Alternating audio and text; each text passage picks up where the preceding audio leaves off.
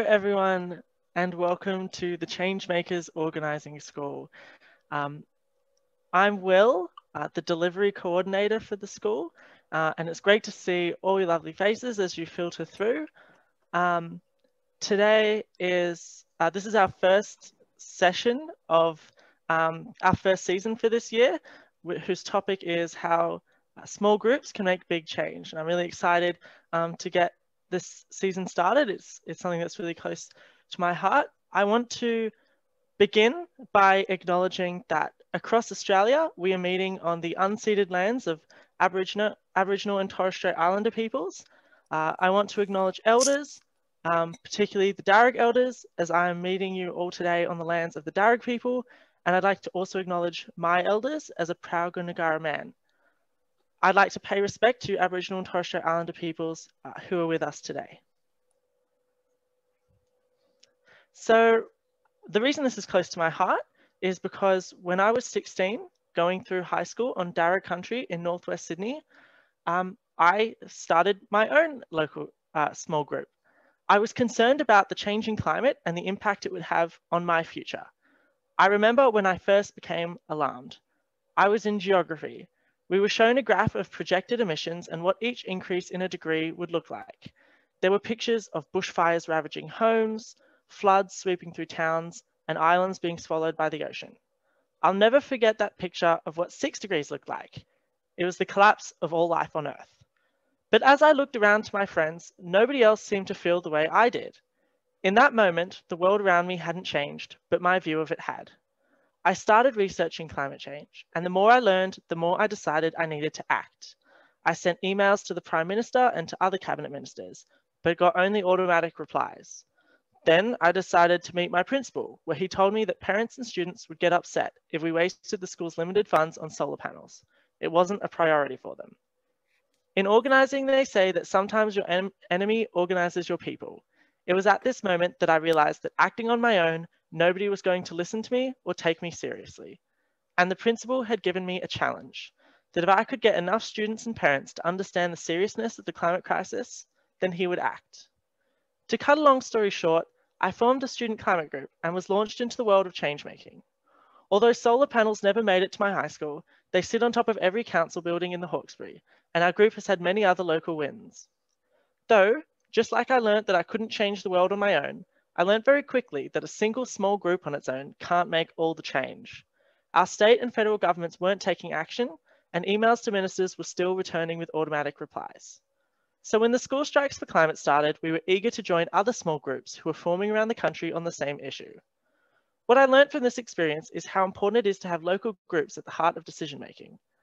When COVID restrictions were in place and as and us as school strikers wanted to protest the gas-led recovery, having groups like mine who were able to respond to their local conditions in their strategy and actions made a big difference.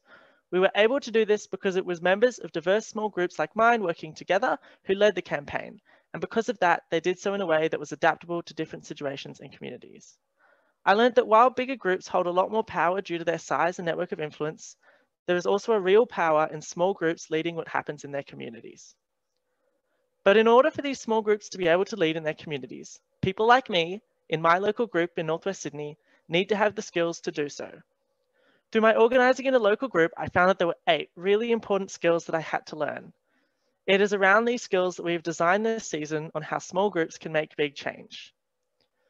When I started my group as a teenage introvert, I needed it to grow, and I needed to collaborate with others outside of my group to make change.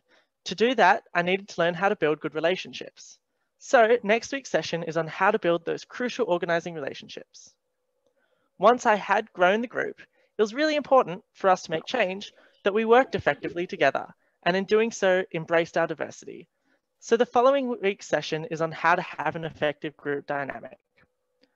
With our group dynamic sorted, we needed to run productive meetings that allowed everyone to have a fair say. So meetings is the topic of our fourth session. At our meetings, we were coming up with great, great ideas for events, but often these were never followed up on. What we needed were people who were capable and willing to take leadership and ownership of these events and tasks we came up with. Leadership is hence the topic of our fifth week. In my group, we've always had a lot of ideas on what we can do, and everyone is eager to help out, which has often led to people becoming burnt out and taking on too much. So we quickly learned that to keep our members productive, we needed a sustainable group culture. So that is naturally the topic of our sixth session. In the beginning, we didn't have any strategy behind our events and we didn't know what outcomes we were aiming for. We focused all our attention on the best creative tactics. What I learned though, is that by having an effective strategy, we were able to link our events to each other and to our goal. We were able to gauge our success and our strategy actually informed which creative tactics we used. Session seven is about how to craft strategy and creative tactics. Once we knew what our goals were and our strategy to achieve them, we could identify other groups that could help us. We were then able to form a network of local partners who could lobby for change and hold events together. Doing this involved learning how to work with other groups, and it took a long time to get the hang of. Week eight of this season is about how to work with other groups. And working as an effective small group, we were recently able to secure a big win by getting our council to draft with us a net zero emissions strategy. We're now having lots of conversations about the climate crisis with members of our community.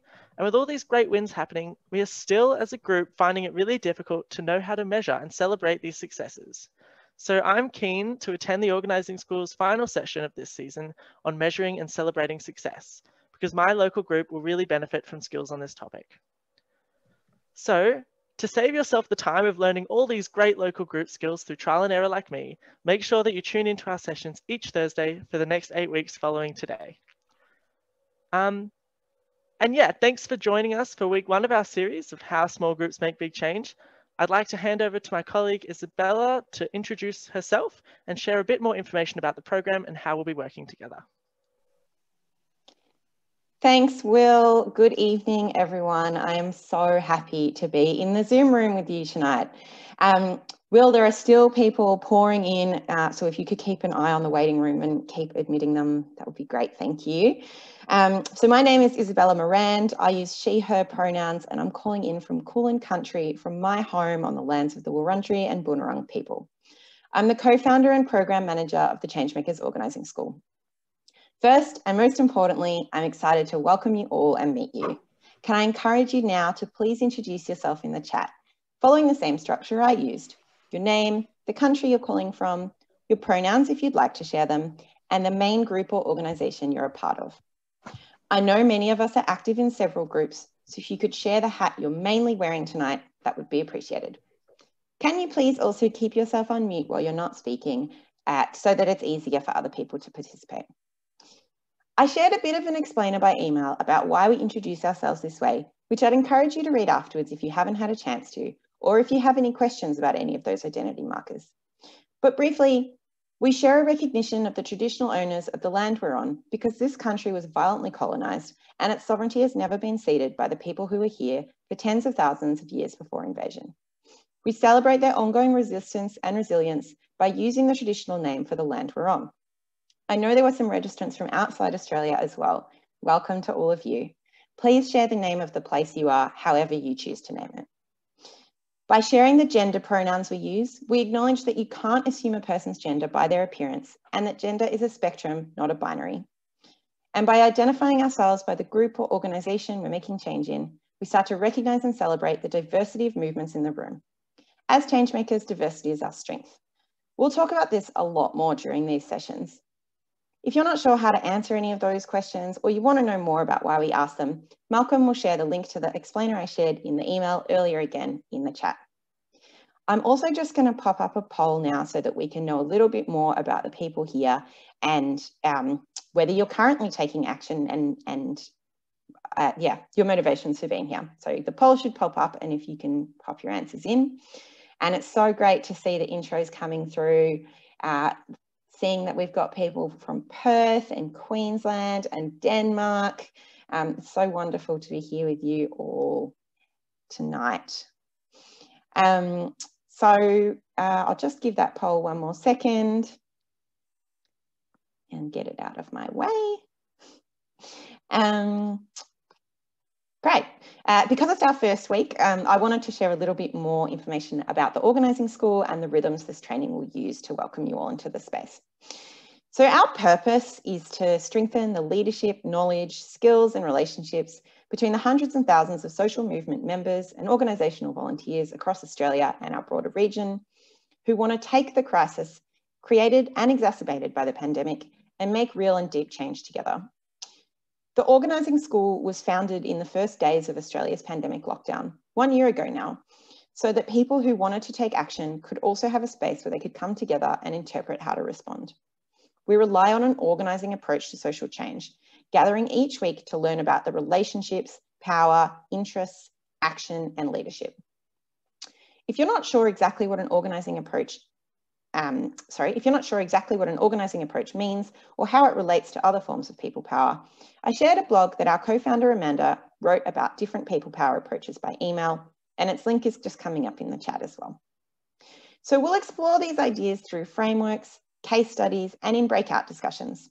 While you'll see the three of us from the Changemakers team, me, Will, and Amanda regularly, for the most part, the training will be chaired and delivered by a variety of people from different social change movements.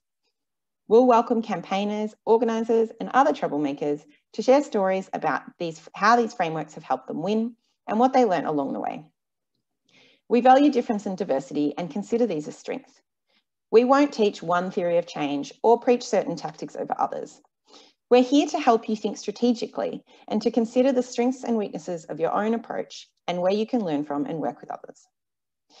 As you join, please be mindful that this is a space of people from varying ages and different movements. There'll be people here with really different experiences and opinions to yours. I'm sure there's folks on the call tonight from a union tradition who might work really differently to the climate movement. There'll be activists here who work in direct action groups and others who use tactics more focused on policy or lobbying. Some folks who have been making change for decades and some who are much newer. This season, we're talking about how we work best together as a group and one-to-one. -one. And as organisers, we, be, we believe that building relationships is how we build power. And in a space, we're in relationship with each other. So we need to start to know each other. One way we practice this value is by making time each session for two breakout discussions. This is an opportunity for you to deepen your reflections and build relationships with people from across the spectrum of social change.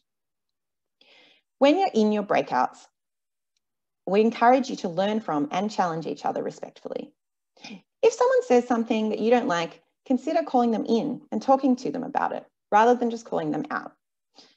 Sometimes diversity can be hard to hold together, but we can also agree to disagree. Social movements are strongest when there's a variety of approaches working on the same goal. I do also want to recognise that sometimes things happen because of big power differentials between us. These are based on race, class, gender, ability and age. The social change space is not exempt from the power structures that are prevalent in our society more broadly. If something happens in a breakout that you want to raise with us, you can press the Ask for Help button at the bottom of your screen. Or if anyone has concerns or wants to talk after the session, please reach out to me. You can reply to any of our emails and it'll come to me directly, or just send me a message in the chat box. As well as the breakout chats, we'll use interactive slide decks. This means when the time comes, We'll post a link in the chat to a set of editable slides. We'll ask you as a group to take some notes about your discussions tonight. Some weeks, the slides will have activities or other things to respond to as well. If you're confident with this, please step up to support others in your breakout. The breakouts, of course, aren't enough time to cover everything. We've also got a Facebook group where you can continue any interesting conversations or connect with others in the program. The link's in the chat and I'll also share it around in an email afterwards. We'll be looking for other ways to make space for you to connect outside the class through the season as well. So at the organising school, we also value accountability. Here are some things you can expect from us every week. We'll start and finish on time. Here in Melbourne, that's 6 p.m. to 7.30 p.m. We'll protect your relational and breakout time. It's really important to us that this is not seen as a space where the people presenting hold all the answers and you are empty vessels to fill. You are full vessels as well, and we want to learn from each other and support you to learn from each other. There'll never be a charge for this training, it's free. This is an important accessibility norm for us. We consider part of our purpose equalising participation and access for the grassroots movements. We'll empower through sharing with resources and help in the chat box. Uh, Malcolm is there tonight as your chat buddy um, and he can help you with any uh, tech or other questions you have as well. Every week after the session, I'll send a follow-up email with resources and a link to the recording. We'll try and equalise participation as much as is possible in a format like Zoom, uh, you know, calling on you and asking for your answers to things as well. We'll recruit from a cross sector of movements to embrace that difference that we so celebrate. The variety of guests who come will be prepped and rehearsed to make the most of our limited time together. And as a team, we debrief every session and commit to continually learning and improving the space for you. Before I finish, I want to recognise all of you uh, for taking the time to be here, taking the time out of your busy lives as changemakers and as regular people with lives and families, and for the commitment to yourselves and each other and changemaking that you've shown just for showing up tonight. So that's enough of my voice for now. We're going to jump into our first breakouts so you can start to get to know each other and we'll share some more information about that. Thank you, Azab. In just a minute, you'll be automatically pushed into breakout rooms to connect with new people and reflect on what you've heard so far. There's a link coming in the chat to a slide deck. Take notes in the slide that matches your group number so we can share in your reflections. Pick someone in the group to facilitate and keep track of time and someone to take notes. We're relying on you to make sure that everyone gets a chance to contribute in the breakouts. If you're someone who usually talks a lot, try to step back. And if you're feeling shy, challenge yourself to speak up. We have so much to learn from each other. In this breakout, you should introduce yourselves, share why you've joined this training and what kind of social change work you do, and help people know you. Share something about yourself outside of the social change space. As you connect, look for the things you have in common and for the things that make you different. Reflect on these if you get time. Those questions are in the slides as well, so in case you forget them, they're in the chat also. You'll have about 10 minutes and you'll get a one minute warning before we come back. We'll be hearing from the other speakers after this. Have fun.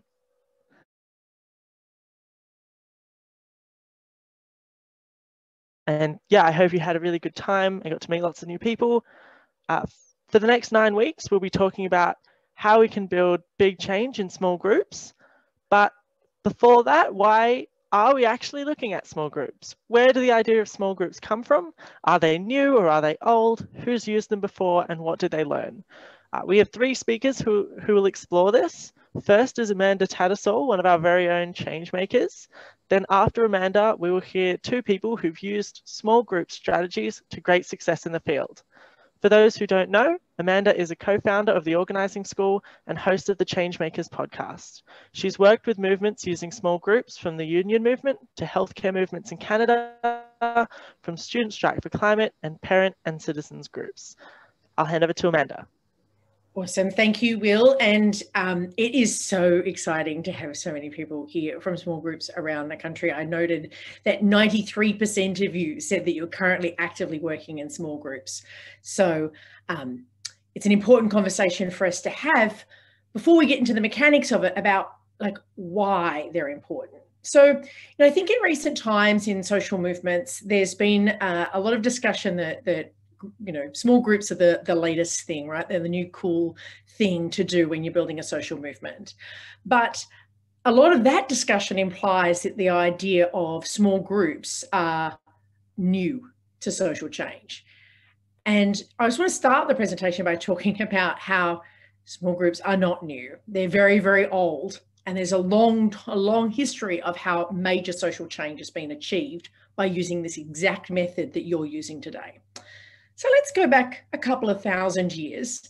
And if we can put up the slides, I don't know if the slides are up, if we put up the slides, let's go to the church, right?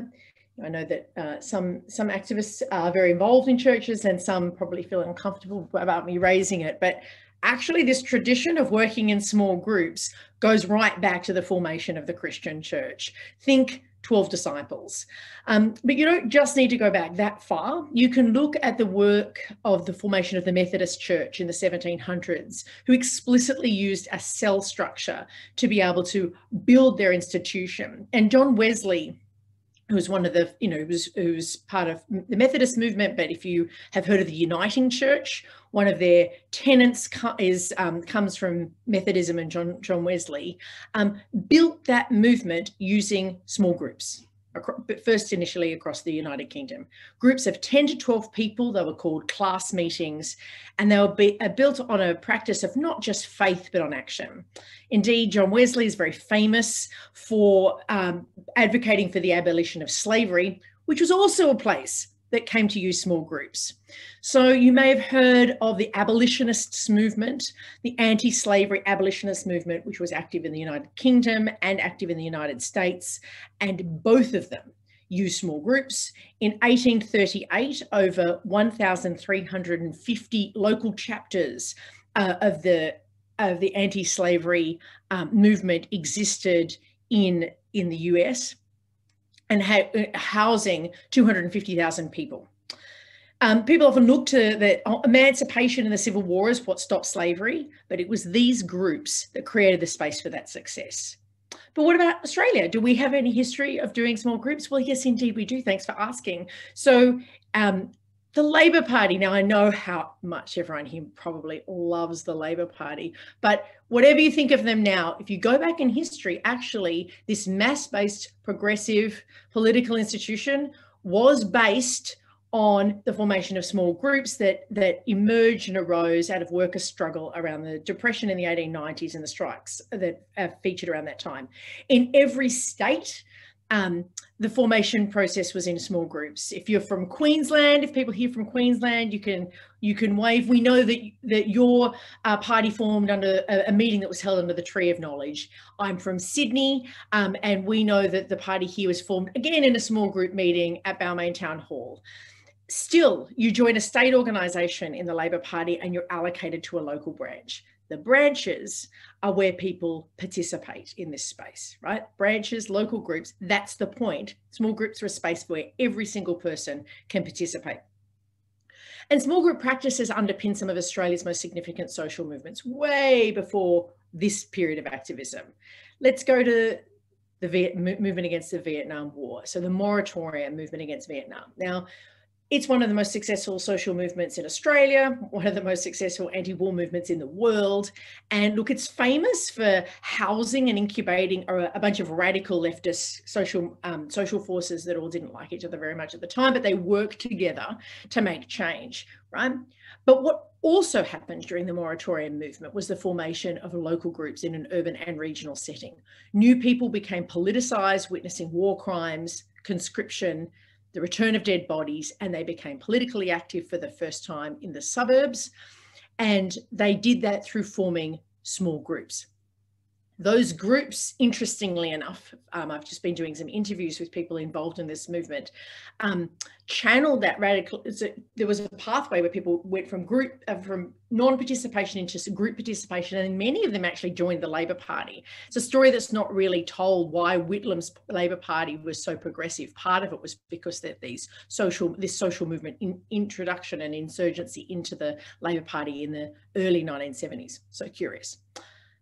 Another movement was full of small groups, and that's the Franklin Dam movement. So people have probably heard of, um, of that movement. It began as a small group. In 1976, Bob Brown uh, housed a meeting of 16 people at his house to work out what could they do to stop this terrible dam that would destroy enormous um, levels of forest in um, in Tasmania.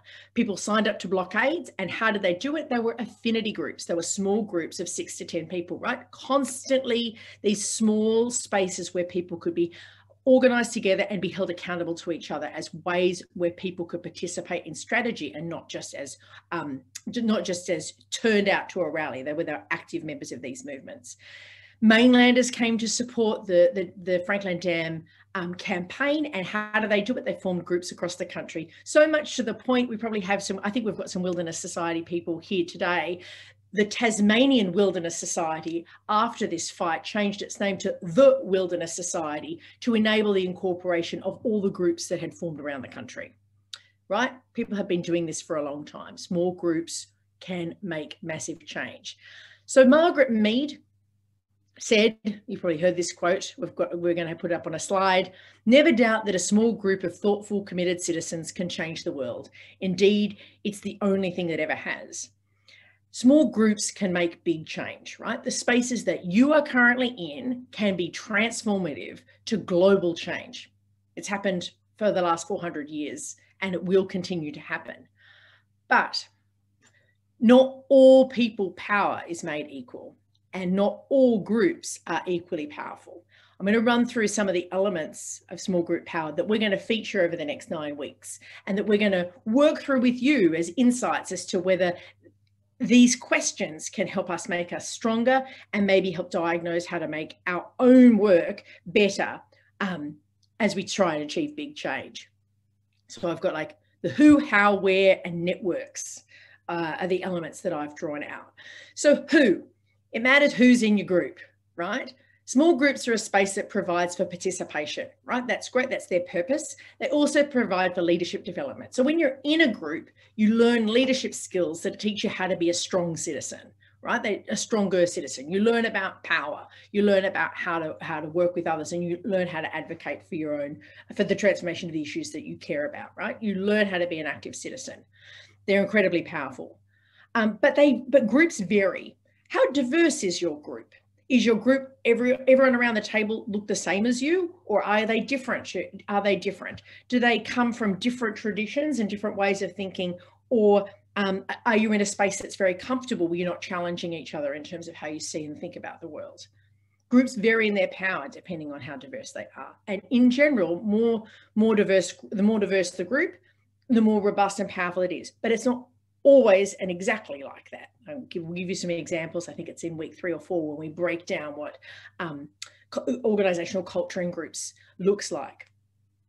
Um, groups also vary in how they recruit people as well. You know, do you just uh, mobilize anyone you can get, go to a street stall and sign up everyone? Or do you do a power analysis and go and seek out to recruit people who you know who are going to be powerful for your network? It, the who varies your power. Secondly, how? How does your group work? What are we talk about group culture? We've got a whole session on that in a couple of weeks. What are the prac? we define culture very simply the practices and habits that you repeat over time. What practices and habits does your group repeat over time? Are your meetings joyful and enthusiastic, always finishing on time and being um, just brilliant in every way? Or do they go too long? Are they dull? These are really important questions for us to ask, and they vary how powerful how groups can be. Um, does your group just talk or does it act? If it does a lot of action, does it also reflect or is it just do the same thing over and over again? Right?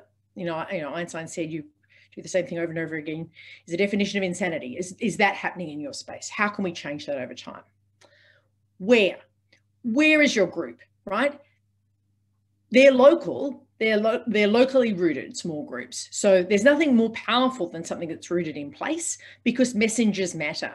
You know, some highfalutin person from the inner city can pretend to advocate on an issue, but if someone is actually speaking from the community with affected people, they've got more power and more authority, right? We know that. You all know that. That's why you're important. But what geography are you standing on? Are you regional? Are you urban? Is your group is the terrain of your group, the territory of your group small or is it large?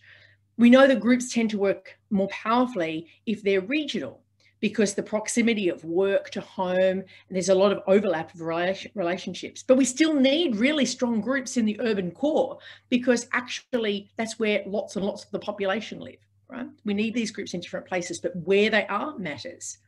And finally, networks. Is your group connected?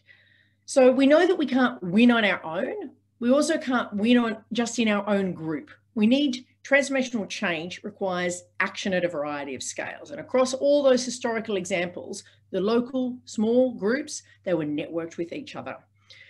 But who sets the strategy in that network? Is it directed by someone in Sydney or Melbourne? Or is there control or impact for the strategy held in a small group? There's um, lots of different language about this that's going to come up over the weeks. Uh, there's a phrase called a directed network, where a centralized strategy is sort of is shared across a bunch of a bunch of groups, a directed network. But there's a different way of looking at it. People might have heard of subsidiarity. It's a, a Catholic tradition where the lo- where decision making descends to the most local space possible. A different way of a more decentralized way of uh, building strategy.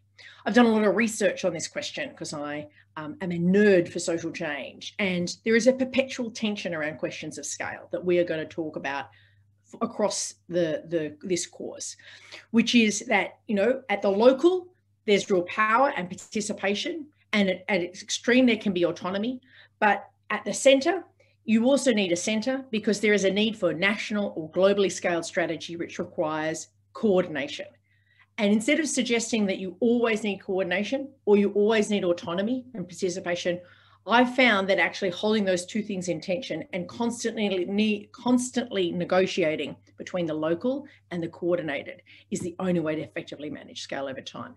I know that sounds abstract. I've got a whole thing written on it and we're going to talk about it later. But before I wrap, I just want to, that was a lot of information. Oh my God. She can talk very fast. Apologies. I'll try not to talk very fast all the time. But why don't we just turn to the chat? Okay, this is really an inv invitation. We're going to have time to talk out in a breakout group, but let's just, for a moment in the chat, is there something, think about your group. We just said a whole bunch of things about groups. Think about your group. Is there something that your group does really well around how, where, who, networks? Or is there something that is a challenge as it's sort of an area where you think, actually, I really would like to learn more about how to do that thing differently? So I'd really ask people to put stuff in the chat now. I'm going to open up the chat too. We're going to move on to the next piece, but what I'll do is I'll take some notes and after the breakouts, we're going to have some discussion. So I'll be able to answer any questions if there are any, but also we'll take some of this knowledge into our planning as we put together the, the sessions as, as they come. Thanks, Will. Thanks, Amanda. You're right, that is a lot, but uh, it's so interesting to, to have that look at the history of local groups, or of small groups, sorry, and all the different influences that affect them. That was really interesting for me. Um, I now am going to introduce Paul um, as our second speaker. Paul has worked for unions in a range of roles since 1999. He has spent about half that time organising and campaigning in local communities. He was a lead organiser of small groups in the Northern Rivers region for the Your Rights at Work campaign. He's also researched and written on workers' movements for a living wage and currently works on union education programs at the ACTU. Unfortunately, he's not able to be here today uh, and he recorded this video message for you all. Good evening, everyone.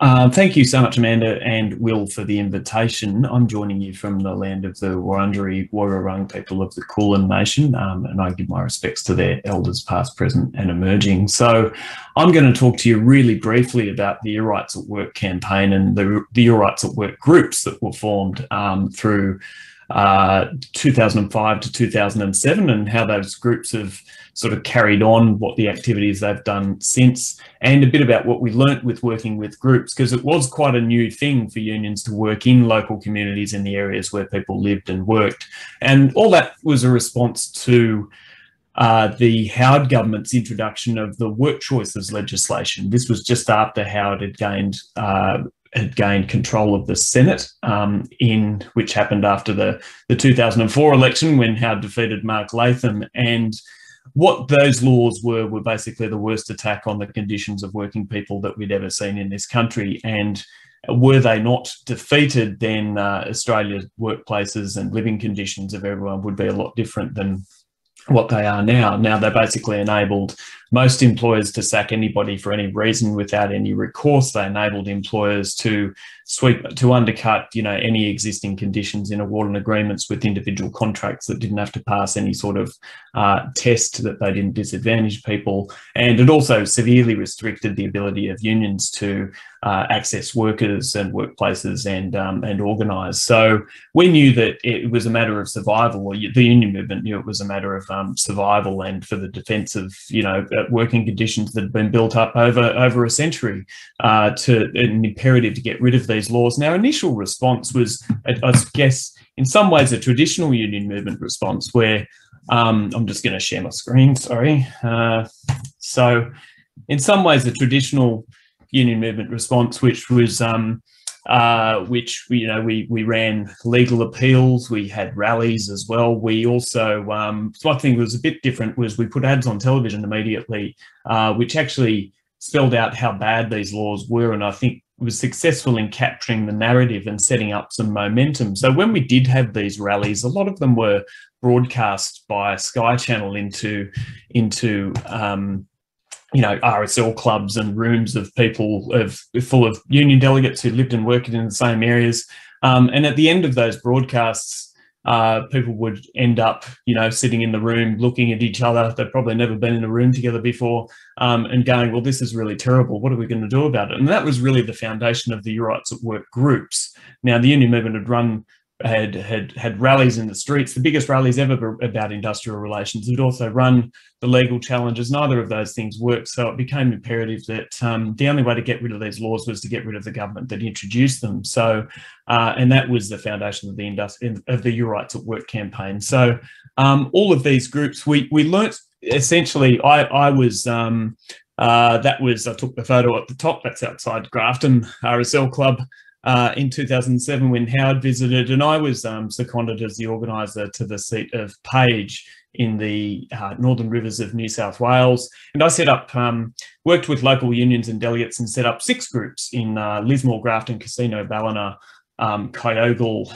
and Lower Clarence, like Iluka, um, Maclean, Yamba around there. And um, and those groups were really uh, some great people amongst them. And we managed to you know, mobilise about 300 people on polling day with all of these um, activities right up into the lead up, right in the lead up got the local media. And but on polling day, we had three, 300 people um, handing out in about 80 polling booths um, right across, and that led to a 7.2% swing, which was enough to defeat the incumbent Nationals, the area's a real National Party stronghold. And that played out across the country. And out of the 25 seats that were targeted around the country with uh, resourced with a local organiser, the um, uh, the I think it was all but a couple of them um, fell for the government, and a couple of more did as well. So of course, so and then you know that resulted in the defeat of the Howard government and um, and so on and so forth. So what did we learn about groups? The um, so, and some of these groups, you know, obviously carried on through campaigns against electricity privatisation and are still around in some form all around New South Wales. But what did we learn about groups? One of the things is getting people together with a shared understanding around what the group is, so its makeup and its purpose. So, so people being clear on what brings them together, what the plan is and what their part is in it. So that role clarity is really important. Um, having a minimum formal structure, so but led by a core team, is really important. Um, and I think it also relates to, you know, look, why do we work with groups? Because when they're working properly, um, a group is, you know, this, it's great. The impact of a group is greater than the sum of its parts. So uh, when people act in a group, they begin to generate their own ideas, generate their ownership, and that's how an organizer can can scale things up. And we talk about organizers as being, oh, sorry, that's um, yeah, where you know the groups up until you know a couple of years ago we had groups all over new south wales. Um, they all had their own sort of logos and identity.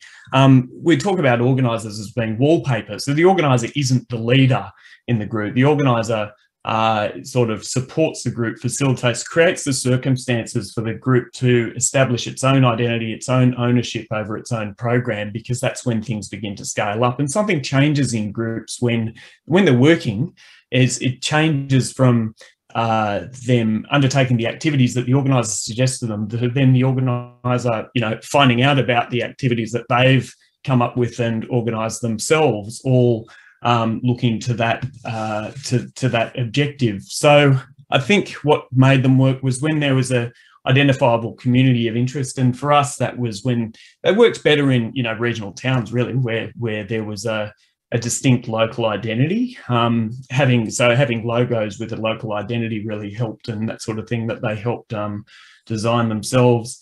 Another thing, and I'll leave you with this, is in terms of what makes groups work, is diversity in the makeup of the group. So I find that people behave differently and more conducive to uh, building up a plan and more um, when there's diversity in the group. So when you've got um, older people and younger people, people from different cultural backgrounds, people from different industries in our case, you know, people who worked in blue collar areas, in uh, white collar areas or health workers with transport workers, etc. So um, people behave differently and accommodate other people better. So I think one of the things that um, is important to do if there's a certain you know homogeneity amongst um, a group you're working with, it's actually good to think about uh, who you can bring in to make the group more diverse, because I think that's one of the things that uh, that we've learned that um, that make them work better. But look, I'll leave you with that. There's a lot more that I could say and unpack, but I really wish you all the best with uh, with your work in getting people together to get the power they need to get the change that they want, and enjoy the rest of your training. Thanks so much.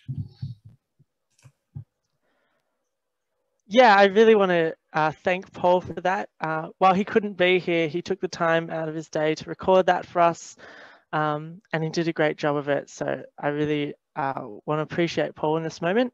Um, I also just wanted to really quickly reflect on on how much that overlapped with what Amanda was saying and how we talked about identity um, and how he talked about um, diversity and how that improved how the groups worked.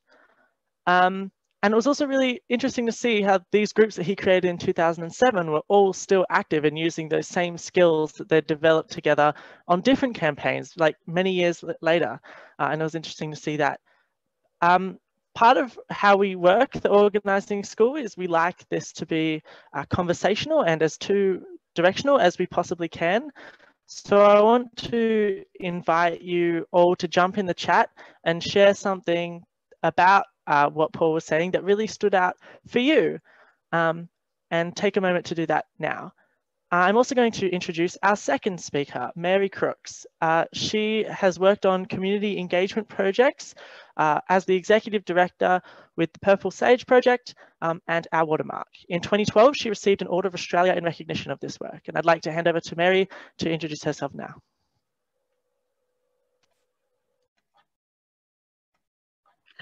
Hi, thanks, Will, and uh, thanks to Changemakers.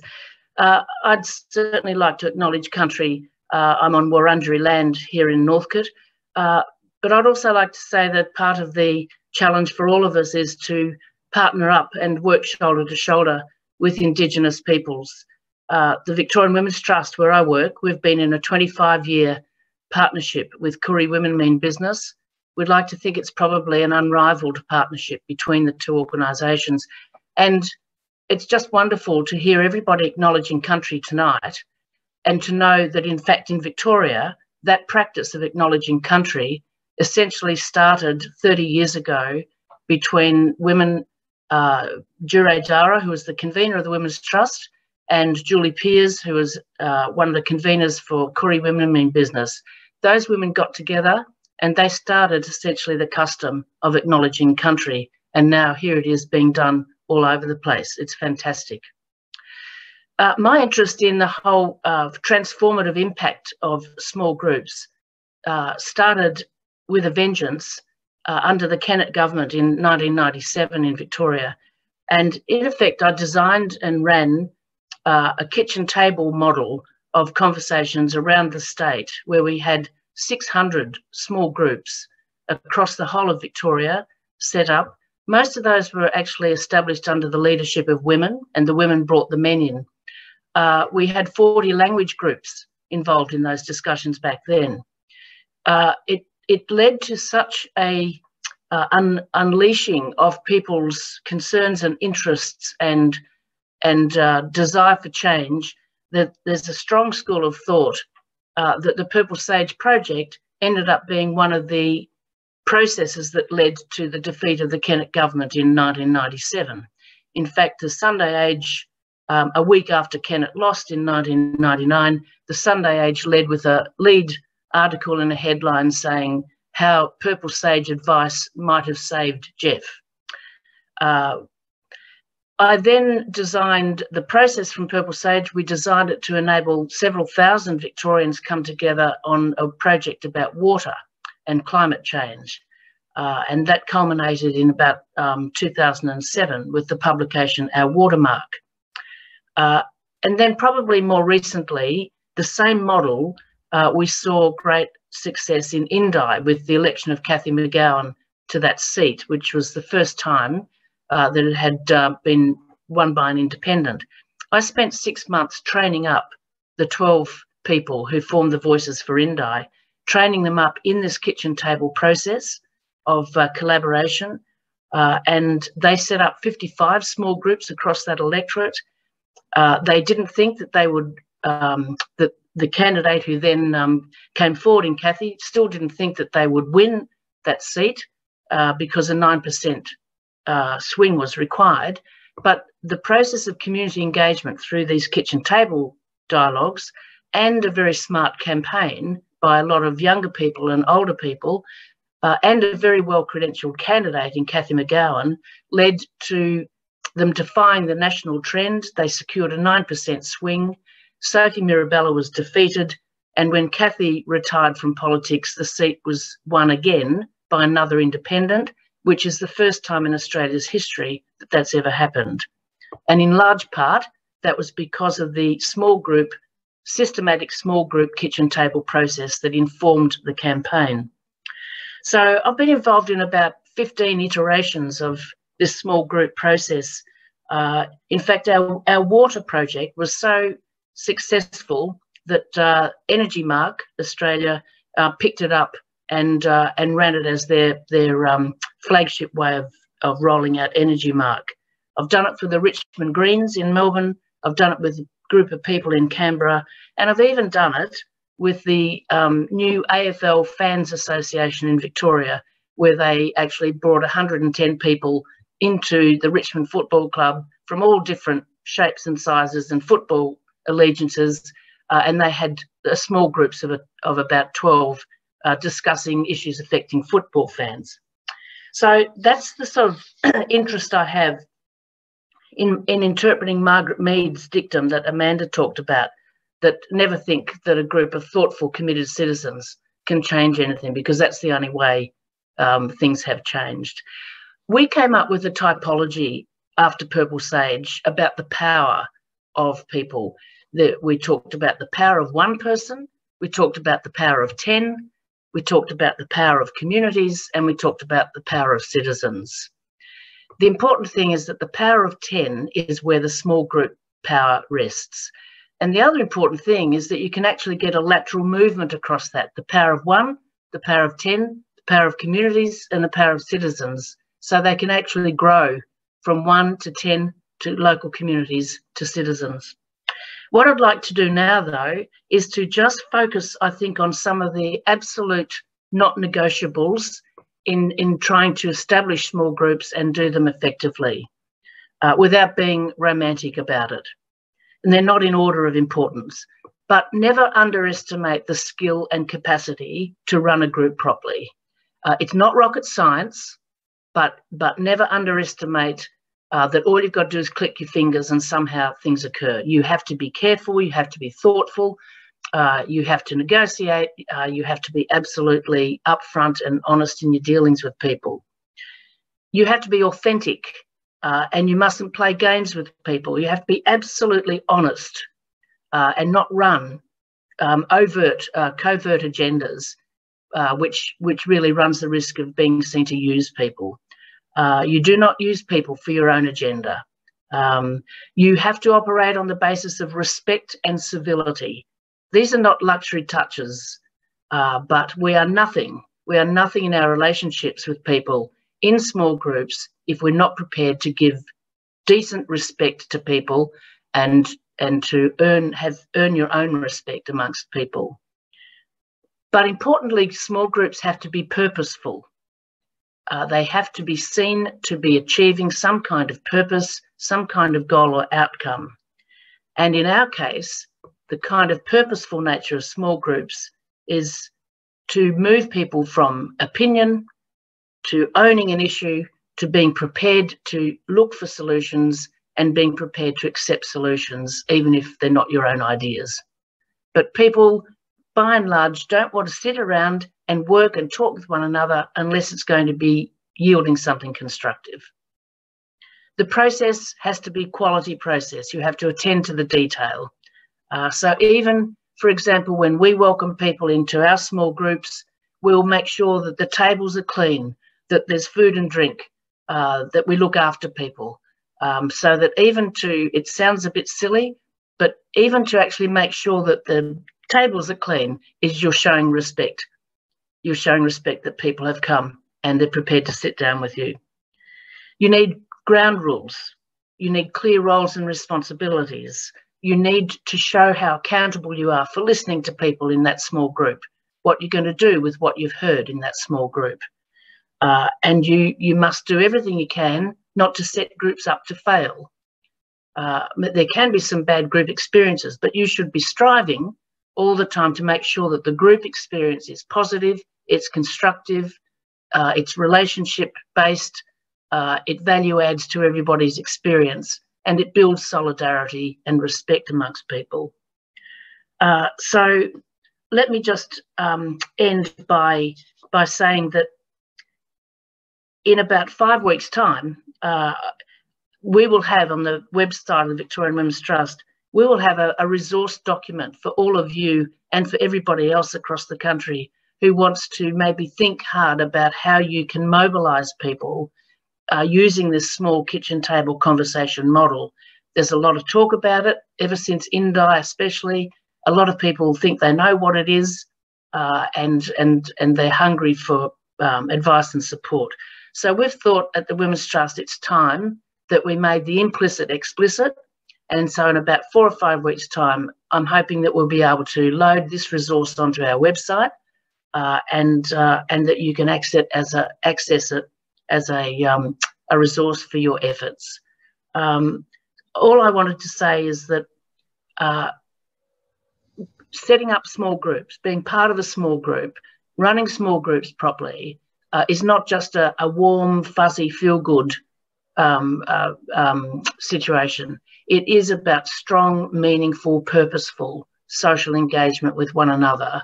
And if you can use it to pull off change, it's even more powerful.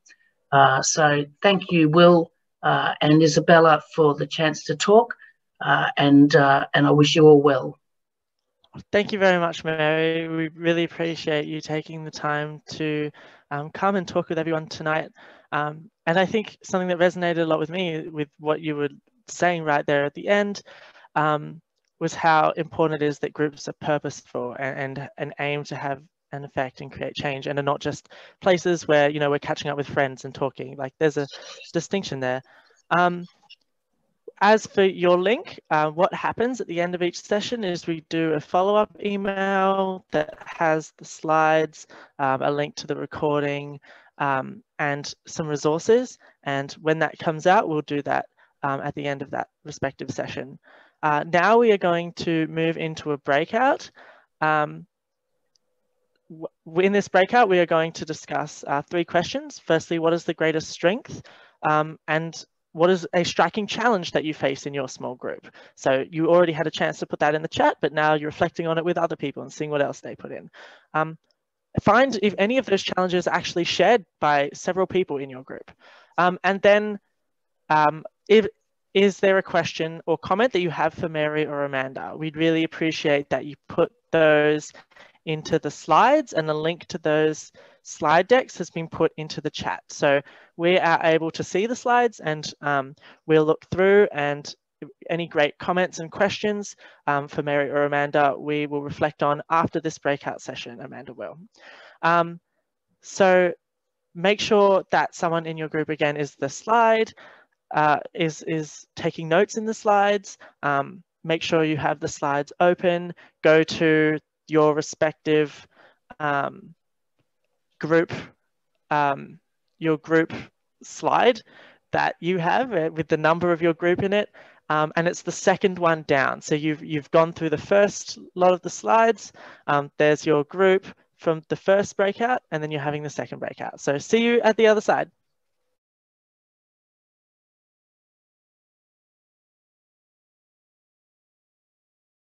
Anyway, Welcome, everyone. Hope I could see your uh, extensive chats on the slides and, and sort of delighted in the fact that most of it was exchanging comments about strengths and challenges in your own group and discussing what was going on more so than asking any particular questions. But Mary and I had a little bit of a chat in the breakout and she's, I'm just going to give her a couple of minutes to just throw in a little bit more food uh, and react to a couple of the comments around um, that came up in terms of how, how you feed groups or how you start groups. Mary, do you want to just some final final food for the for everyone who's come on tonight who you know final thoughts that they can take away as they go back into their groups?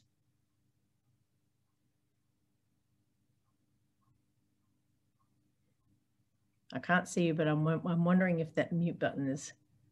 I'm unmuted now. okay. Um, look, I think what you're what you're setting out to do over several weeks is really commendable, uh, because because you can't just miraculously create small groups. You can be well intentioned, uh, you can have the energy, uh, you can have the ideas and the enthusiasm, but it does require careful thought, not just by yourself, but with others coming around you. Uh, so, so I'm a bit loath to say too much more because the risk is making it sound as though it can all be dealt with in a matter of minutes. What I would say that I didn't say um, in my quick romp was how important when you're being honest and authentic it's very important that you are that you make your values your core values clear uh, so that so that people understand where you're coming from and people are more likely to join in an effort of solidarity if there is an alignment of values um, so making so i want to give you a quick example of that in when i worked for voices for indi um, it's fair to say that there was a lot of slagging off about the local member by this group of people. And the work I did with them to make their values clear about what does Voice for Indi stand for. And the first thing they said is respect, respect for democracy, respect for our political elected reps, respect for each other, and so on. So they had it all. And I said, well, that's great. But if you're going to say that Voices for Indi values respect, then you're going to have to zip your lips from today onwards and stop slagging off your local member. And so they did. So you can't you can't have it both ways. You know, so you've got to be clear about your own values. The only other thing I'd say is that I think small group success happens when everybody brings their best sides. That's what it's about. You bring your best side, not not your half best, not your narky best, but your best side. And small groups that work to other people's best sides are more likely to enjoy confidence and success. So I just think, as a general rule, don't even think about small groups unless you're prepared to bring your best side to it and to work to others' best sides. Now that's not that's not a romantic view. That's about getting along constructively in life, frankly. Thank you, Mary. Isn't it special having literally one of the most experienced small group operators in the country with us on this call? Like, just like hugely. I've been, I met Mary the best part of 20 years ago. Sorry to reveal your experience, Mary, you know, um, and was in awe of the Purple Sage project, let alone what she's done since. So it's just been an honor to have you with us here today, Mary. I, I similarly am not going, you know, we're going to be here for nine weeks together, friends. I feel like I'll have some time to share, but I'm, I'm going to say one thing. A bunch of the slide reflections talked about the challenges of working with people, whether it was getting people to be more active in the groups, working out how to inspire them to do more activity in the groups, getting people to stop just being all talk and doing action, right? This question about how do we connect better? How do we motivate people to do the stuff that we need doing? Well, all I would say is welcome to week two, friends. That is going to be the entire focus of next week. How to, and I, and I'm, I intend to try and do a little bit of a blowing up of our minds, rethinking on this question, because I think sometimes we sometimes get these questions um, around the wrong way when we're thinking about how to involve people in groups perhaps, and I'll give you some very practical tools that can allow us to sometimes break through what can be a really tricky process of um, creating a group of people who are different and who are active and who are deeply engaged on their passions together. So I'm going to hand back to Will and look forward to seeing you next week. Yes, thank you so much, Amanda and Mary. You're both excellent speakers. Um, we're about to, well, I'm going to wrap up because uh, it's nearly 7.30 and we like to finish on time. We're about to have an evaluation poll and that will look at um, how, um, how helpful you found tonight um, and what you learned tonight um, and how it will apply to your group. So if you can please um, put an indication of how you found tonight in there. That will really help us um, organize these sessions. Um, as Amanda said, the next session is all about the skill of relationship building, featuring some very practical training that you can apply to strengthen your groups. It's going to be the same time next Thursday. Um, it's not too late for others to join. Each week we will cover a standalone piece of content. If you enjoyed tonight and are excited about what's next, please share the link to register with other members of your group, with your friends on your social on your social media. Um, get the word out there because um, obviously these are really beneficial uh, sessions. Changemakers is also a podcast, and we have an episode all about small groups. The link is going to be placed in the chat. It's called Indivisible, and it was a movement set up to resist Trump, made up entirely of small groups. We keep this chat going in our Facebook group, um, so please join us there. There will be a link to the Facebook group also put in the chat. Um, feel free to make a post, start um, commenting on other people's posts and start conversations about what you learned tonight, what you found interesting, um, and make it a space that you want to engage with. Um, so on that note, uh, can everyone please come off mute and say goodbye? Um, thanks everyone for coming. See you. Bye. Thank you. Bye. Bye. Thank you. Thank you. Bye. Thank you. Thanks, Will. Thanks, Isabella. Bye.